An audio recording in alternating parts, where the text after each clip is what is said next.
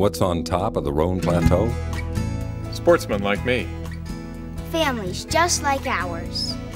Western Colorado at its best. Protecting the Roan Plateau means our economy and quality of life stay in balance. Thanks to Congressman John Salazar and Mark Udall, we're on the right track to protecting the Roan for generations to come. Let's keep it that way. Speak out now to permanently protect the Roan Plateau. Paid for by Colorado Environmental Coalition.